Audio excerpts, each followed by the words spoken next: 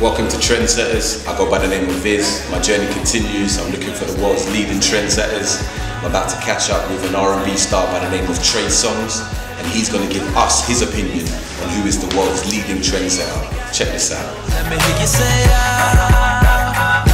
When it comes to trendsetters, and I'm, I'm gonna stick to the music world just because uh, I think it's amazing the things this man has done. I think Jay Z sets more trends than anybody. I think he sets trends. I think he shuts trends down as well. You think about uh, he had people wearing button up with blazers and fitted hats. He, he told people that it wasn't cool to drive a 4.0. You know, you had to get a 4.6. He told you stop drinking Cristal.